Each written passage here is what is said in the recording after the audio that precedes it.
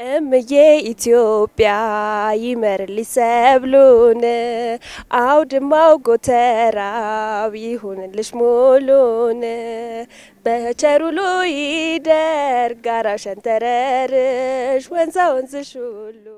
ሰላም ተመልካቾቻችን፣ ከአዲስ ሚዲያ ኔትወርክ ከአዲስ ቴሌቪዥን የመዝናኛ ዝግጅታችን ወደ እናንተ እየደረሰ ይገኛል። ምሽት ላይ ነው የምንገኘው።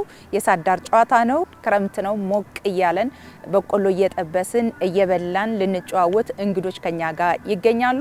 እንተዋወቃቸው። እንኳን ደህና መጣችሁ። እንዴት አመሻችሁ? እንተዋወቅ። ካንተ ልጀምር። ዮናስ አበበ እባላለሁ። አለም ጌታቸው እባላለሁ። በላይ ውዝነ እባላለሁ። ቃል ኪዳነት እባላለሁ። እንኳን ደህና መጣችሁ። እንኳን ደህና ምሽቱን እንግዲህ ከእናንተ ጋር ልናሳልፍ ነው። ሳት ዳር ላይ እሳት እየሞቅን በቆሎ እየጠበስን ክረምት ነው። ስለዚህ ሞቅ ብለን አብረን እናሳልፋለን ማለት ነው። መጀመሪያ የጠበስነውን በቆሎ እንብላ። እንዴት ነው በቆሎ? ጥሩ ተጠብሷል። ክረምትን ስናነሳ እንግዲህ ከማይቀሩ ነገሮች ወይም ከማንረሳቸው አንዱ በቆሎ ነው። ቤተሰብ እንዲህ ሰብሰብ ብሎ በየቤቱ በቆሎ እየጠበሰ እያወራ ታሪኩን፣ ተረቱን ከትውልድ ወደ ትውልድ የሚያስተላልፍበት አንዱ መንገድ ነው። እኛ ደግሞ እንዲህ ሳት ዳር ቁጭ ብለን ተሰባስበን እንጠያየቃለን፣ እንጨዋወታለን። ዛሬ የምንጠያየቀው የምንጨዋወተው ስለ ከተማችን ነው፣ ስለ አዲስ አበባ ነው። እንጠያየቃለን። ከተማችንን ምን ያህል እናቃታለን፣ ያለንን ግንዛቤ ስለ አዲስ አበባ ያለንን ሀሳብ የምንረዳበት ራሳችን የምንፈትሽበት ነው። እዚህ ላይ የተጠቀለሉ ወረቀቶች አሉ።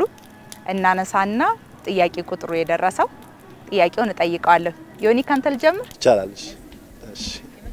የመጀመሪያ እድለኛ ነው። ስለዚህ ስንት ቁጥር ይደርስ ይሆን? ዮናስ ጥያቄ ቁጥር አንድ ስለ አዲስ አበባ ነው የምጠይቅህ። አጠቃላይ ጥያቄዎቻችን ስለ አዲስ አበባ ናቸው። ምን ያህል እናውቃታለን ነው፣ ግንዛቤ ለመፍጠርና ራሳችን ለመፈተሽ ነው። ጥያቄ ቁጥር አንድ አዲስ አበባ መቼ ተቆረቆረች? እንግዲህ አዲስ አበባ የተቆረቆረችው በ1886 ይመስለኛል። የተጣ አዎ በ1886 በጣም ጥሩ ሙከራ ነው ያደርገው ዮናስ። በ1886 ትንሽ ነው የሳትከው። አዲስ አበባ የተቆረቆረችው በ1878 ነው። ጥያቄ ቁጥር ስድስት ጥያቄ ቁጥር ስድስት በጣም አሪፍ ነው። ጥያቄ ቁጥር ስድስት አዲስ አበባ የተለያዩ ብሔር ብሔረሰቦች የሚኖርባት ከተማ ነች። አንዱ ልዩ የሚያደርጋት ይሄው ነው። በእነዚህ ብሔር ብሔረሰቦች የተሰየሙ አዲስ አበባ ውስጥ የሚገኙ ሰፈሮችን የሚታወቁ ቢያንስ ሶስቱም ጥቀሽልኝ። ወሎ ሰፈር ቦሌ አካባቢ ይገኛል። በጣም ጥሩ ሶስት ነው የምትጠቅሽልኝ። እሺ፣ ቤንሻንጉል አካባቢ አለምዬ ሶስቱን ጥቀሽ ነበር ጥያቄው፣ አንዱን እንጠቅሰሻል። እንግዲህ ምን ያህል እንደሚያስገኝልሽ አላቅም። ለመልሱ ግን እናመሰግናለን። ቢያንስ የሚታወቁ ብዙ ሰው የሚያውቃቸው የስያሜዎች አሉ። ወሎ ሰፈር አንዱ ነው። አደሬ ሰፈር፣ ሶማሌ ተራ፣ ሶማሌ ተራ፣ ጎጃም በረንዳ ጎፋ ሰፈር እና ወርጅ ሰፈር ይባላሉ እና እነዚህ የምናውቃቸው ነው። ቡድን አንድ ቃል ኪዳን እና በላይ ናቸው። እስኪ እነሱን ደግሞ እናያለን። ጥያቄ ቁጥር አምስት ጥያቄ ቁጥር አምስት እንግዲህ ክረምት ሲሆን የኢትዮጵያ አንዱ ባህላዊ ልብስ ነው ጋቢ። እሱን ደረብ አድርገን የሳት ዳር ቁጭ ብለን በቆሎ እየበላን እየተጨዋወትን ነው። ከተማችንን ምን ያህል እናውቃታለን እየተጠያየቅን ነው። ዋናው አላማው መጨዋወቱ፣ መሰባሰቡ ክረምት እንደመሆኑ መጠን መጠያየቁ ነው እና ስንጠያየቅ ደግሞ ቁም ነገር ያለው ጥያቄ እንዲሆን ከማሰብ ያዘጋጀነው ዝግጅት ነው። እንደምትወዱት ደስ እያላችሁም እንደሆነ አምናለሁ። በቡድን ነው የተከፋፈላችሁት።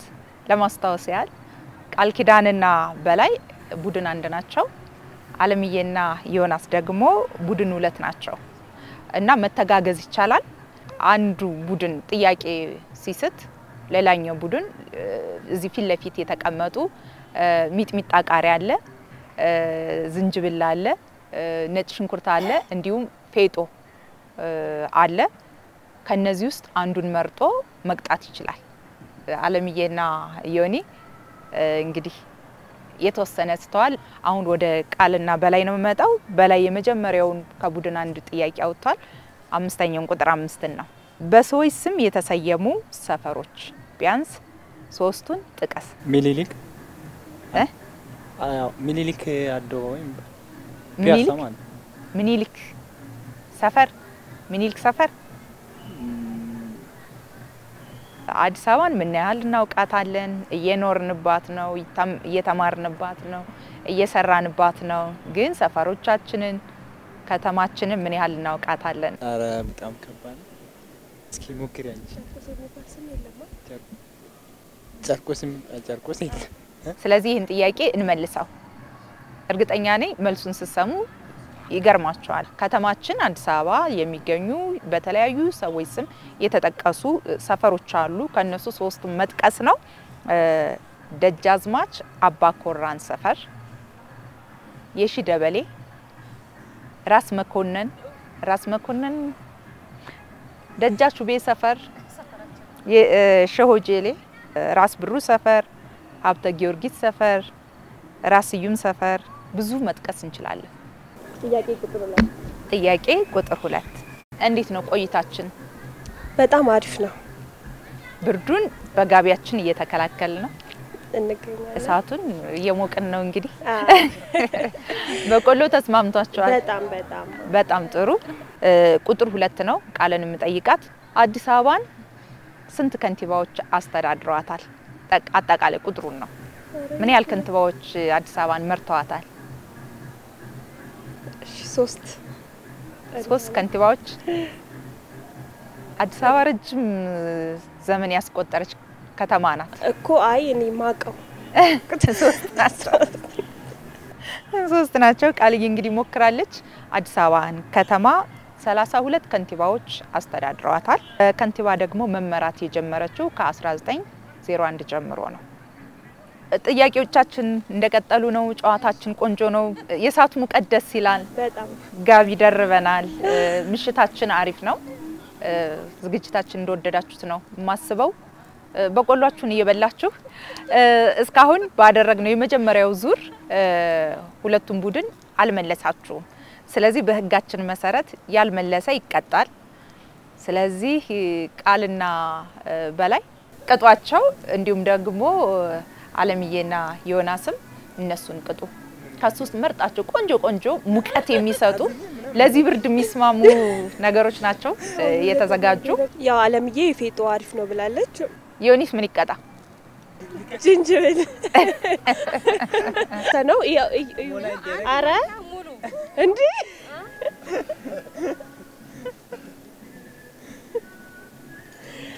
ቃል አንድ ነጭ ሽንኩርት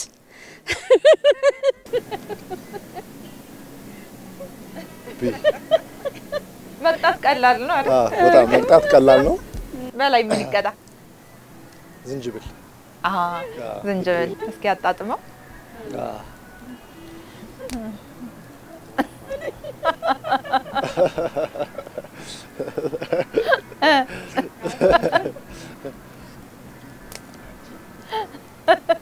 ለካ እንዲህ ነው።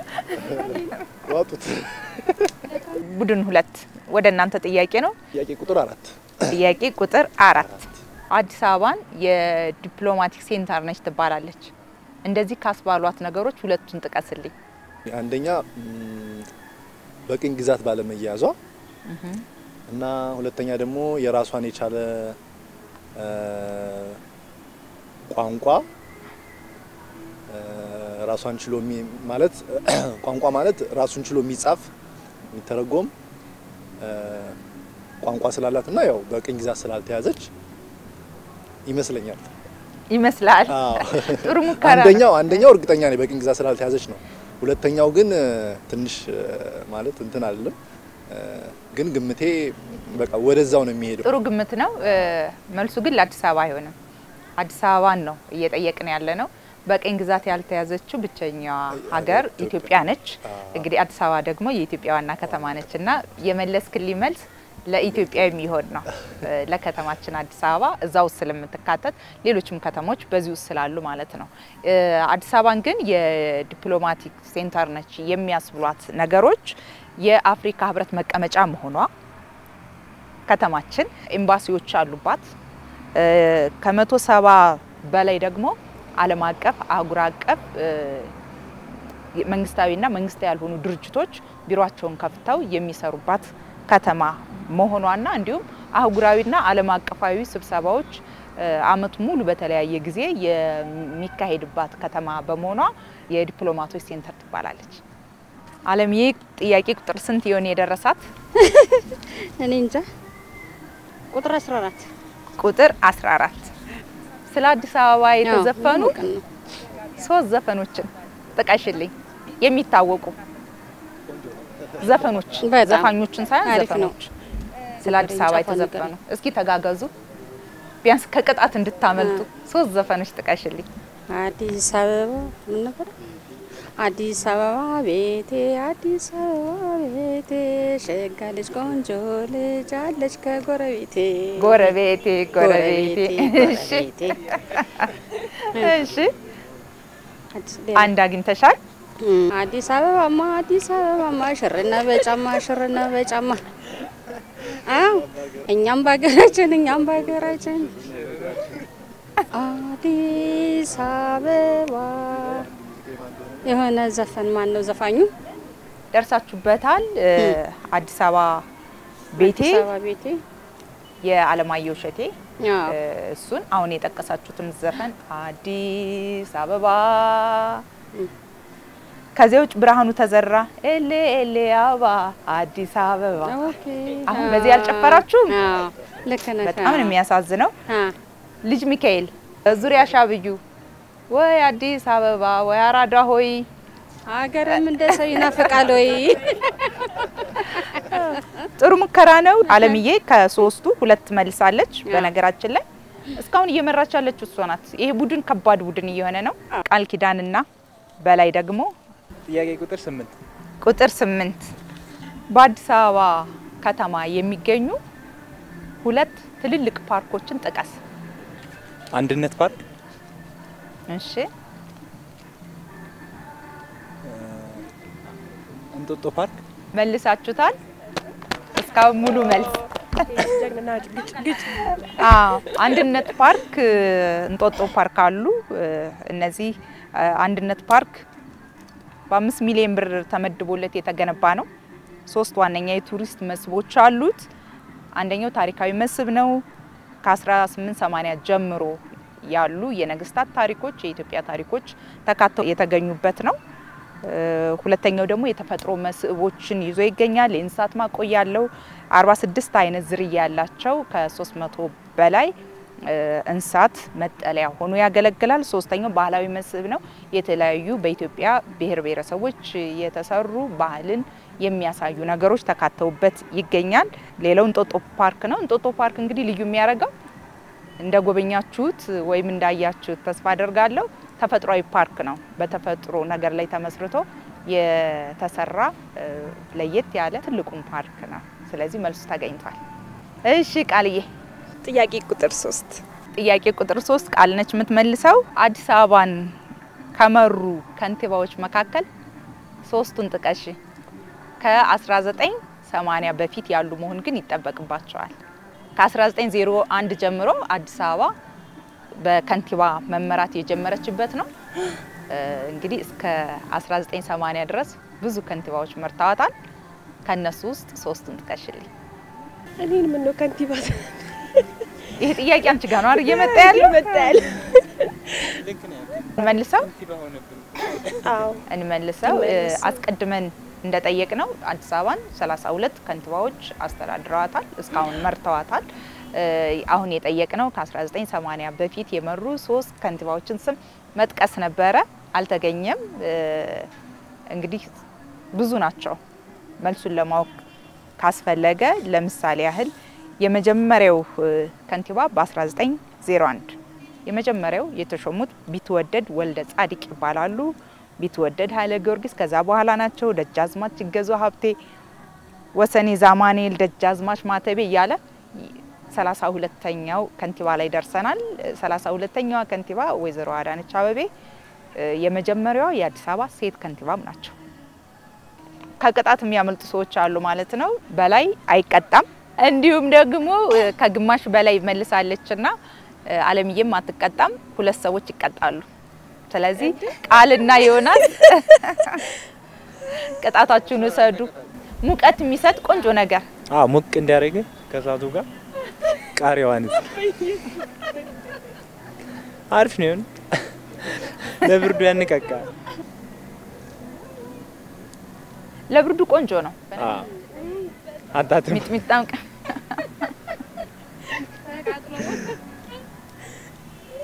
አሪፍ ነው። ፌጦ መድኃኒት ነው። ስለዚህ አንድ ማንኪያ እንደው አነሰ ቢባል በጣም አሪፍ ነው። ዋናው ሀሳቡም እዚህ ሳት ዳር ቁጭ ብለን በቆሏችን እየጠበስ ጋቢያችን ለብሰን በክረምት ሰብሰብ ብለን እስኪ ስለ ከተማችን እንጠያየቅ፣ ምን ያህል እናውቃታለን ነው አላማው። ፎቶን ተመለከታችሁት፣ ተወያያችሁበት። ስድስት ኪሎ የሰማዕታት ሐውልት። እሺ። መታሰቢያነቱ? በጣሊያን ጊዜ ለተረሸኑት መታሰቢያነቱ። የተመለከትነው ፎቶ አዲስ አበባ ውስጥ ከሚገኙ ሐውልቶች መካከል አንዱ ነው። ይህ ሐውልት ስድስት ኪሎ ይገኛል። የሰማዕታት ሐውልት ወይም የካቲት 12ም ተብሎ ይጠራል።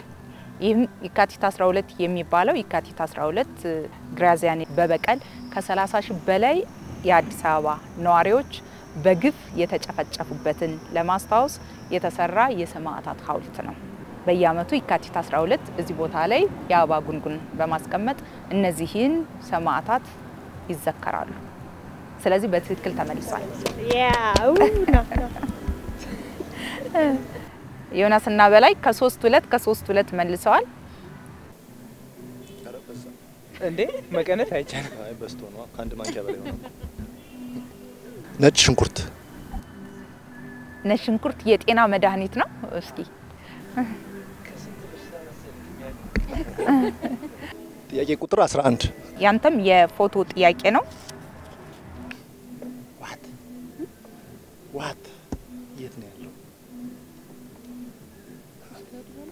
አራ- አራት ኪሎ ይመስለኛል። አራት ኪሎ ጋር እሺ እ፣ ሐውልቱ ግን የሰራተኝ የምንድን ነው የአርበኞች ቀን የአርበኞች ቀን የሚከበርበት ቦታ የአርበኞች ሐውልት ይመስለኛል።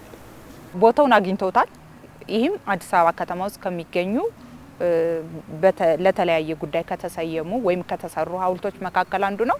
የድል ሐውልት ይባላል። የሚገኘውም አራት ኪሎ ነው።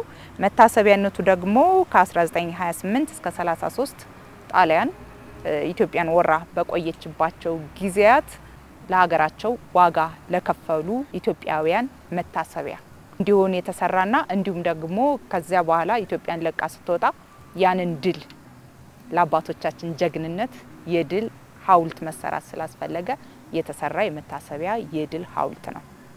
አያችሁት፣ በደንብ ነው ያጠናችሁት። ይህ እስኪ አዲስ አበባ ከተማ ከሚገኙ ሐውልቶች መካከል አንዱ ነው። የሰማዕታት ሐውልት ነው። የምን ሰማዕታት? ቅድም የድል በደርግ ጊዜ በደርግ ጊዜ የተገደሉ እሺ፣ እና የሚገኘው መስቀል አደባባይ አካባቢ መሰለኝ። አለምዬ አላገኘችውም። የኢትዮ ኮባ ወዳጅነት መታሰቢያ ሐውልት ነው።? የሚገኘው ደግሞ ከጥቁር አንበሳ ሆስፒታል ዝቅ ብሎ ነው። ይህ ሐውልት ከሌሎች የሚለየው በውስጡ ራሱን የቻለ ቆንጆ መናፈሻ አለው። እዛ ሄዳችሁ መዝናናት ትችላላችሁ። ለማንበብ በጣም ምቹ ነው። ይህ የኢትዮ ኩባ መታሰቢያ ሐውልት የኢትዮ ሶማሊያን ጦርነት በዛ ጊዜ የኩባ ኢትዮጵያን ለማገዝ ወደ አምስት ሺህ ወታደሮችን ልካ ነበር። ከነሱ ውስጥ ደግሞ እ፣ 163 ኩባውያን ለኢትዮጵያውያን ሲዋጉ መስዋዕትነት ከፍለው አልፈዋል። እዚህ ሐውልት እ፣ ስንሄድ የነዚህ የ163 ኩባውያን ፎቶ ማግኘት ማየት ይቻላል። ከነስማቸው ነው እዛ ውስጥ የሚገኘውና የኢትዮ ኩባ ወዳጅነት ሐውልት ነው። ለነሱ መታሰቢያ የተሰራ ነው። እርግጠኛ ነኝ አሁን በተጠየቃቸዋቸው ሐውልቶች ብዙ ጊዜ ለስራ፣ ለትምህርት፣ ለተለያየ ጉዳይ ተመላልሰንበታል። ግን ልብ አንላቸውም። እንድናስታውለው አካባቢያችንን እንድናውቅ እንድንረዳ ለማለት ነው። ጨዋታችን ይቀጥላል። ወደ ቃልና በላይ ነው የምንሄደው። ጥያቄ ቁጥር ሰባት ቁጥር ሰባት የጣሊያን ስያሜ ያላቸው አዲስ አበባ ውስጥ የሚገኙ ቦታዎች ጥቀስልኝ ነው። በደንብ እናውቃቸዋለን፣ ግን ቃሉ የቦታው ስያሜ ቃሉ ጣሊያንኛ ነው። ሜክሲኮ ጣሊያንኛ ነው ጣሊያን ሰፈር ጣሊያን ሰፈር ሜክሲኮ ጣሊያን ሰፈር ብሎኛል። ወደ መልሱ እንሄድ አይደለ? ጥያቄው በጣሊያንኛ ቋንቋ የተሰየሙ ነው። ስጠቅሳቸው ይገርማችኋል። መርካቶ እዚህ ውስጥ የማያውቅ የለም። ፒያሳ ጣሊያንኛ ነው። ካዛንችስ፣ ካዛ ፖፖላሬ፣ ካምቦሎጆ እናውቃቸዋለን። በሳት ዳር ቁጭ ብለን ስለ ከተማችን እንጠያየቅ እናውራ ስንል እንድናስታውለው ፒያሳ ለምን ፒያሳ ተባለ፣ አካባቢያችን እንድናውቅ ከአዲስ አበባ ማልፈን ሀገራችንን እንድናውቅ በዚህ ሳት ዳር ቁጭ ብለን በቆሏችን እየበላን ክረምት ነው ጋቢያችን ደረብ አድርገን ቁም ነገር አዘል ጨዋታ እንድናወራ ነው የተሰባሰብ ነው።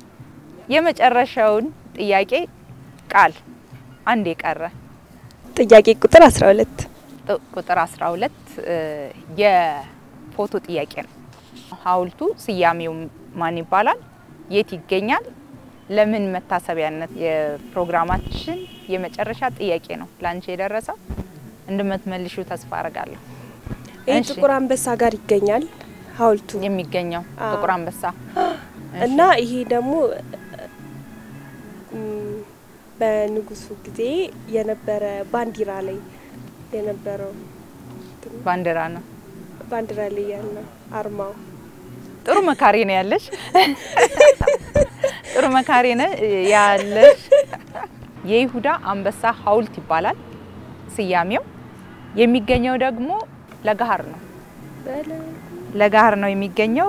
በአዲስ አበባ ከተማ የመጀመሪያው ሐውልት ነው ተብሎ ይነገራል።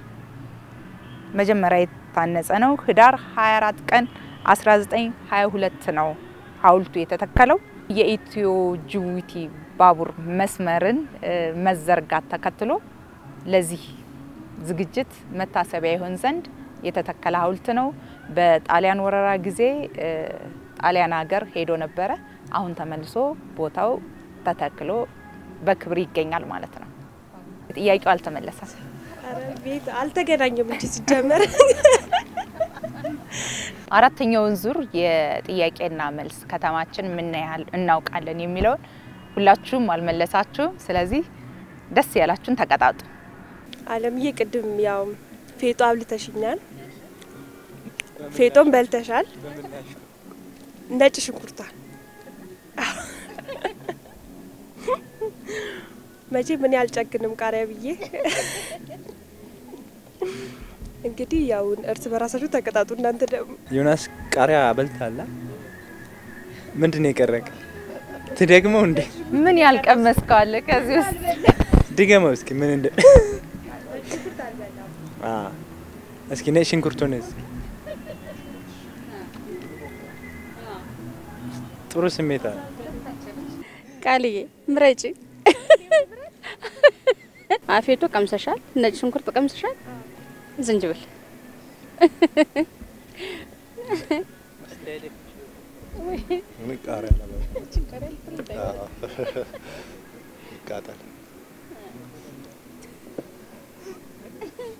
በላይ እንግዲህ ቅድም ቃሪያ አቃጥለኛል። እኔም አሁን ቃሪያ እንድበላ ነው የምፈልገው።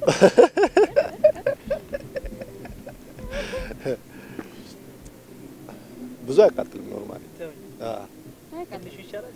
ትንሿን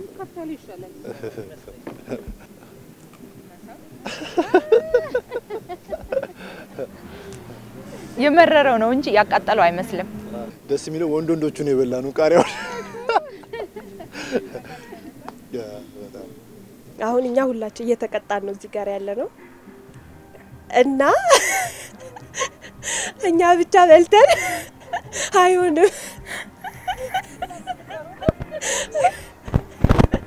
እና ዘግይተን እሺ አዎ አንድ ላይ ነው ማዕድ አንድ ላይ ነው የሚበላው። ለብቻ የለ ለብቻ ሞቀን ደግሞ አንቀር አንቺ ብቻሽን ይከብዳል ና ያው በአዲስ አበባ ዙሪያ ነው እየተነጋገርን ያለ ነው። እስቲ አንቺም በአዲስ አበባ ዙሪያ የተዘፈነ አንድ ሙዚቃ አንጎራጉሪልን። ጭራሽ እኔኑ በጣም ታዋቂ ከሆኑት ስለ አዲስ አበባ ከተዘፈኑ ዘፈኖች መካከል ቶሎ ወደ አእምሯችን የሚመጣው አንጋፋው ድምፃዊ በሞት ተለይቶናል። አሁን በሕይወት የለም። አለማየሁ እሸቴ ነው። እሱንም ለማሰብ ጥያቄዎቻችንም ስለ አዲስ አበባ ስለሆኑ እሱን ማለት እችላለሁ። ትችያለሽ።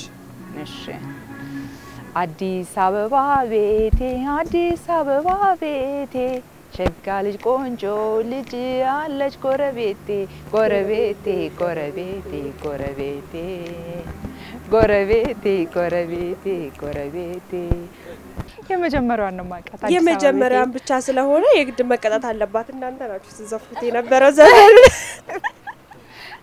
በደንብ አልዘፈንኩትም ነው። እሺ የመጀመሪያውን ብለሻል፣ ግን እስከ ግማሽ ቢያንስ መሄድ አለብሽ ብዬ ነበረ። ሌላ ሙዚቃ ነው ወይስ ከዚች ነገር ነው የምንቀጣው? አይ ከዚች ከዚች ነገር በርዶኝ ነበር ግን ሞቆኛል። ይኸው ለሙቀት ጥሩ ነው። እሺ ቅጣቴን እቀበላለሁ። አለምዬ ቅጫት ነይ ሽንኩርት ነይ ሽንኩርት መድኃኒት ናት። ለካ እንዲህ ነው የሚጨንቀው። ይቺ ትሻላለች መሰለኝ። ከነጭ ሽንኩርቱም ከዝንጅብሉም ከፌጦም ከቃሪያው ስትበሉ እያየው ስስቅ ነበረ። ይኸው እንግዲህ እኔ ደግሞ በተራችሁን ሳውቁ ተዘጋጁ።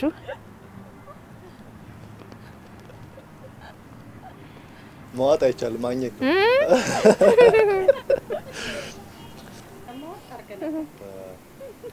ይቅር በሉኝ ይቅር በሉኝ። እስካሁን ድረስ ለሳኩት ውይ ይቅር በሉኝ። ስንት ጉድ ነው የተሸከማችሁት? የእውነት እዚህ ነው ሲገባ ነው የሚያቃጥል። እሺ በእውነት ለዚህ ለዚህ ነገር የሚሆን ሙዚቃ ተጫወቱልኝ። ብረሳው እንድረሳው የሚያስረሳ አገሬን አገሬን አይልም ወይ ሰው ክፉ ሲናገሩት ሆድዬ ባሰው ክፉ ሲናገሩት ሆድዬ ባሰው ቀጥሏል። ኢትዮጵያ ሀገሬ መመኪያዬ ክብሬ በጣም ደስ ይለኛል ካንቺ መፈጠሬ። ኢትዮጵያ ሀገሬ መመኪያ ጋሻዬ በጣም ደስ ይለኛል ካንቺ መፈጠሬ። ኢትዮጵያ ሀገሬ መመኪያ ጋሻዬ በጣም ደስ ይለኛል ከአንቺ መፈጠሬ ለሀገራችን። እምዬ ኢትዮጵያ ይመርልሽ ሰብሉን አውድማው ጎተራው ይሁንልሽ ሙሉን። በቸሩሉ ይደር ጋራ ሸንተረርሽ ወንዛ ወንዝሽ ሁሉ በቸሪ ዙሪያሽ በቸሪደር ያለበት በቸሪደር ዙሪያው በቸሪደር ያሳደገኝ መንደር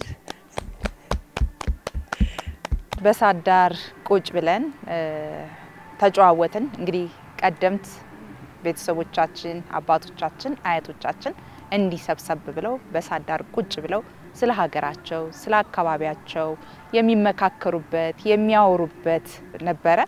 እኛም ሳት ዳር ቁጭ ብለን ስለ ከተማችን እስኪ እናውራ፣ ከተማችንን ምን ያህል እናውቃታለን በሚል የሳት ዳር ጨዋታ ስንጫወት ስንወያይ ነበረ።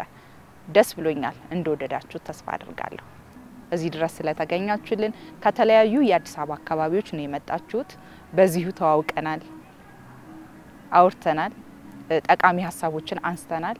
እዚህ ድረስ ስለተገኛችሁልን ከአዲስ ቴሌቪዥን ጋር አዲስ መዝናኛ ፕሮግራማችን ጋር ጊዜያችሁን ሰጥታችሁ ምሽቱን እዚህ ሳት ዳር ቁጭ ብለን እንድናወራ፣ እንድንጠያየቅ፣ እንድንጨዋወት ስለፈቀዳችሁልኝ በጣም አመሰግናለሁ።